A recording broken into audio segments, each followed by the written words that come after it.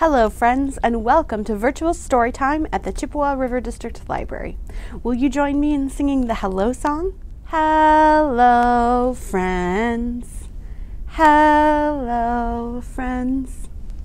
Hello, friends. It's time to say hello. In today's program, we are talking all about great apes. And I've had a special friend come join me to help me tell you a little bit more about apes. Can you introduce yourself, friend? Hello, everyone. I'm Katrina, and I am a primate keeper here at the Memphis Zoo. Hello, Katrina. Can we all say hello? Wow, thank you for joining us to tell us all about great apes. Can you start off by telling us what is a great ape? Great apes are primates that have big brains and do not have tails. Great apes include things like gorillas, like Penny here behind me, and orangutans, chimpanzees, and bonobos, and of course, humans. That's right, both you and I are great apes. What? I am a great ape? That is so cool. Well, I can't wait to learn more about one of the animals we as humans have the most in common with. To start off, I thought we would read a story. I have a great story time book for you today called Goodnight Gorilla. Before we dive into this book on gorillas, let's hear from Katie on what real gorillas are like. Gorillas are great apes. They are the largest of the great apes. They are found in the rainforest in Africa. They are vegetarians.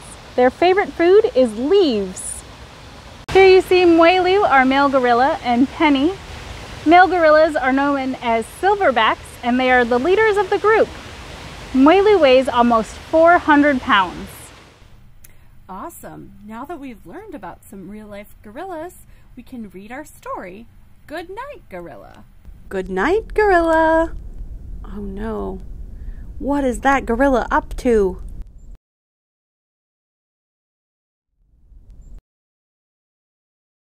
Yikes! It looks like that gorilla has taken the zookeeper's keys and he's escaped his cage. Oh no! Good night, elephant. Hmm. What is that sneaky gorilla up to now? Good night, lion. the elephant's out now, too! Oh no, and what is he doing? He's gonna let out the lion? Yikes. Good night, hyena. Good night, giraffe. Look at all of these animals that are out now. The elephant and the lion and the hyena and the giraffe. Oh my goodness, who knows what will happen? To find out what happens, you can check this book out from the library. I'll put a link in the description below on how to check it out from our library. It's time to sing, and I've brought my friend Gorilla here just like from the story Goodnight Gorilla, to help me do a song with a gorilla in it. This song has a rhythm element to it. We're going to be keeping a beat together. You can do this by beating on your chest like a gorilla. Or if you would prefer, you can grab something to help you keep the rhythm. You might use rhythm sticks or even some wooden spoons that you can hit together to make a rhythm. And we're going to get started. Here we go. Boom diddy boom diddy boom boom boom. Boom diddy boom diddy boom boom boom. Down in the jungle where nobody goes, there's a great big gorilla washing his clothes. With a scrubba on the trees and a scrubba on the rocks, that's the way he washes his gorilla socks. Boom diddy boom diddy boom boom boom. Boom diddy boom diddy boom boom boom. Down in the jungle where nobody goes, there's a great big gorilla washing his clothes with a scrubba on the leaves and a scrubba on the dirt. That's the way he washes his gorilla shirt. Let's do one more verse. Boom diddy boom diddy boom boom boom. Boom diddy boom diddy boom boom boom. Down in the jungle where nobody goes, there's a great big gorilla washing his clothes with a scrubba dubba here and a scrubba dubba there. That's the way he washes his underwear. Awesome job, friends. Thank you for doing that rhyme with me. And it's time to write. Grab a pen or a pencil, and we're going to write the word ape. Okay, here we go. As always, I want to remind you that any attempt at writing is a good attempt. Even if you're not getting it perfect, you're practicing your pre writing skills just by watching. All right, we're going to start with a capital. What letter is this? A. It's a capital A, a lowercase p. Look at that P. It goes even below my line, way down here. And N E. A P E. Ape. Ape. This next song has lots of different animals, and one of them is an orangutan, which is a type of great ape. Before we jump into our song, let's hear a little bit from Katrina the zookeeper about orangutans. One type of great ape are orangutans.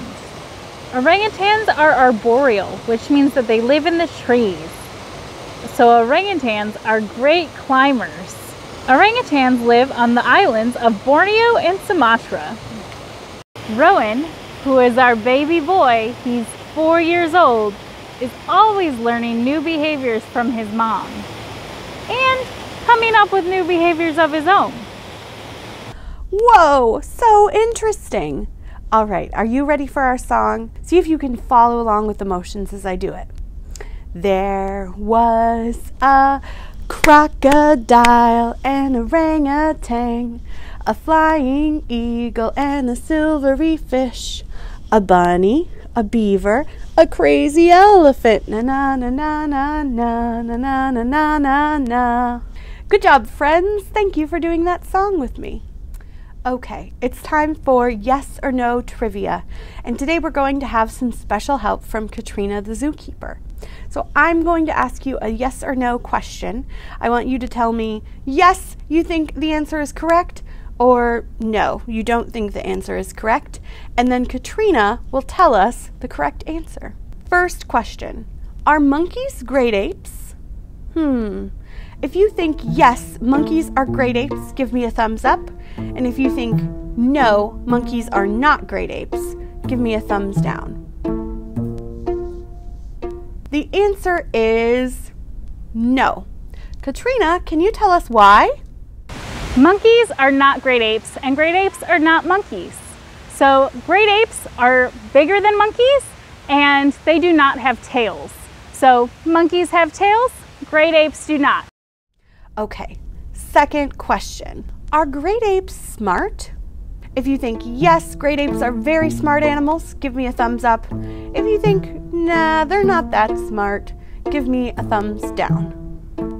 The answer is yes, great apes are very smart, and Katrina is going to tell us all about why.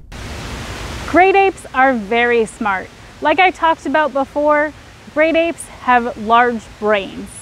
So they all have individual personalities, they know what they want, they can figure things out. So here at the zoo, we give them enrichment to make sure that they're using those big brains to work out puzzles and toys and try and figure things out. Final question Can we communicate with great apes?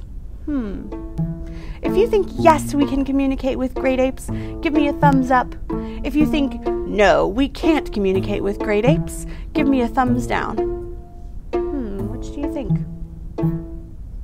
The answer is yes, we can. And here's Katrina to tell us why. Yes, we can communicate with great apes. Primates are very, very intelligent because they have large brains. So even though our gorillas here can't speak English, I can still communicate with them. So they know what I'm asking for even though they can't speak English. They can read my body language and know what I'm saying. Well, we've learned so many cool things about great apes, especially gorillas and orangutans. Thank you so much to Katrina and to the Memphis Zoo for being a part of our program today. And if you're ever in Memphis, Tennessee, you should check out the Memphis Zoo. Not only do they have great apes, but they have lots of different interesting animals that you can learn about and see for yourself. All right, it's time for the goodbye song. Unfortunately, our program has come to an end. Can you sing with me? Goodbye, friends. Goodbye, friends. Goodbye, friends. It's time to say goodbye. See you next time.